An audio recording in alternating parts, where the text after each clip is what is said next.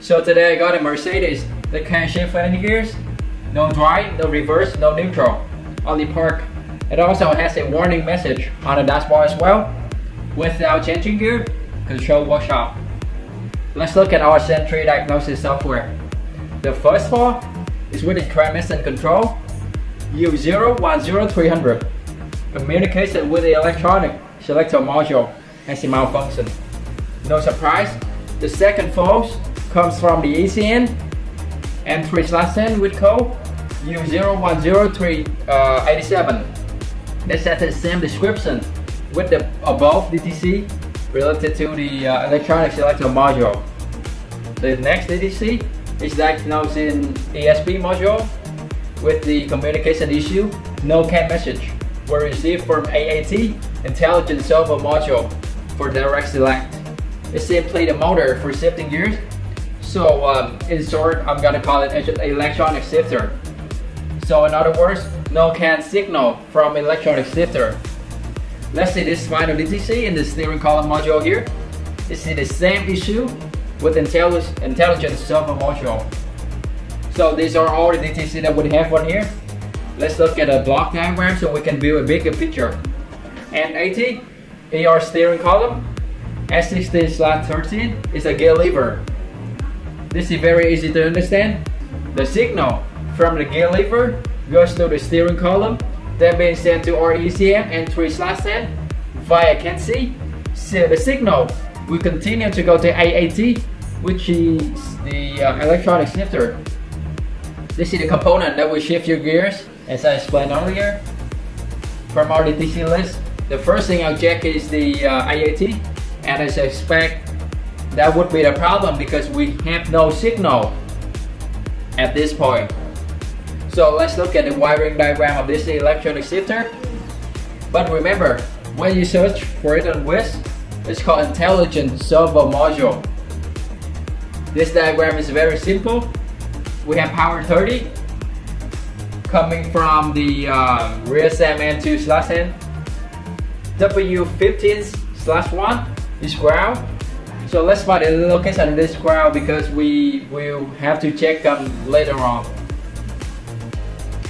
So as it's on here, this right foot well poised, so um, it's underneath the front passenger's feet. Here's it, ground point, W 15 slash 1 as you see here.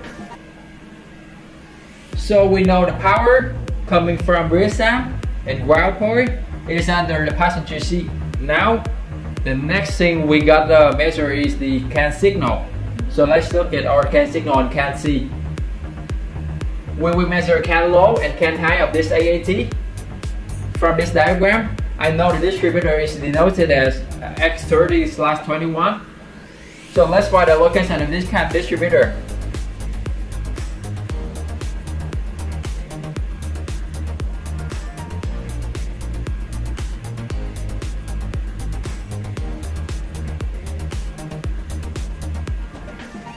So it is also underneath the front passenger seat.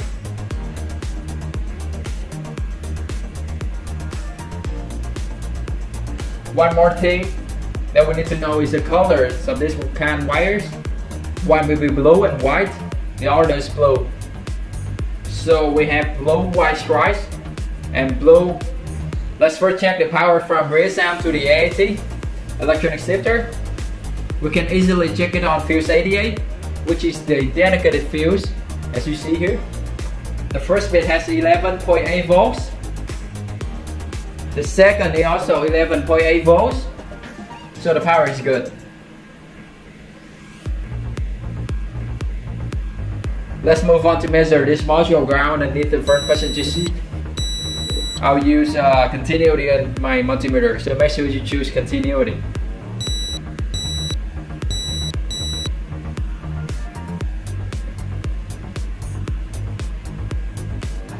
All three wires have continuity, so ground is also good the last basic or CAN signal, let's dive into it.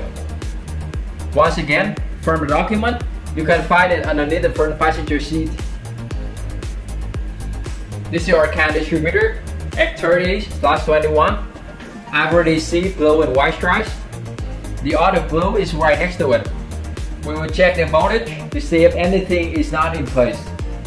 We expect to see over 2.5 volts for CAN high and under 2.5 volts for CAN low. These are the most wires and CAN wires of IAT, which is what we want to measure. And please remember to turn your key on.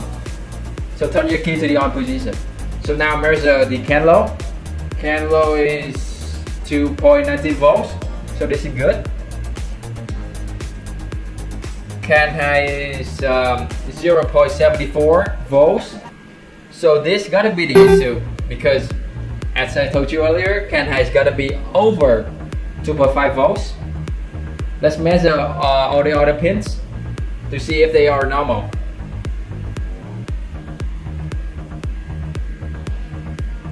The rest of them seem all good, so we only have problem with CAN high of the electronic shifter. So we might have two issues here. It's either our ECM is might not send enough voltage to this distributor or this distributor itself has malfunctions. The distributor is easier to check than the ECM so I will check it first by measuring resistance. I already removed the distributor out of the car so we can easily check it working condition. I measure resistance using my multimeter. The value we're looking for is about 60 ohms for each connectors.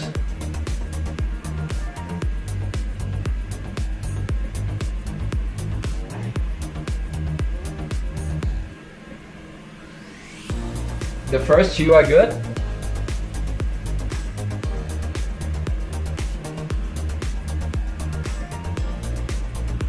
The third one also working properly.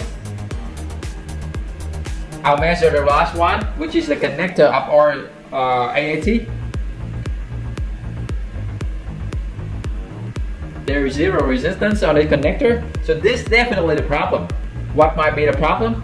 In the resistor in the distributor is broken, so it's no longer working, so the current can pass through freely. We are very fortunate because when Mercedes engineer designed this distributor, they left one connector empty for backup or later usage. So I'll switch the position of IAT to that empty position on the distributor. Alright, so I'll check the CAN signal in this position to see if it's now working properly. So 2.3 voltage for CAN low is good. 2.77 for CAN high so CAN high also good. So both are working as it should. Let's look at the dashboard and Xentry scan result once again. So there is no malfunction message on the dashboard. Let's start the car and change gear to see if it works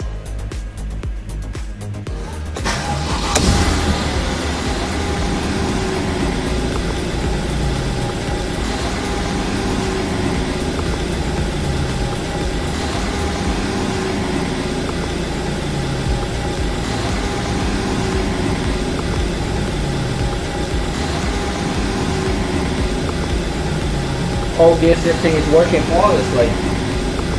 Let's double check it once again on our uh, Xentry software. So there is no DTC. So I can tell that we have successfully tackled this problem on this Mercedes E-Series. Alright, so to recap, this vehicle has lost a resistor in this CAN signal electronic shifter distributor, making the signal couldn't be transferred back and forth on the CAN network. So guys, that's it for this video. If you want to see more diagnosis video that uh, I made on my journey, you can have a look on this playlist right here.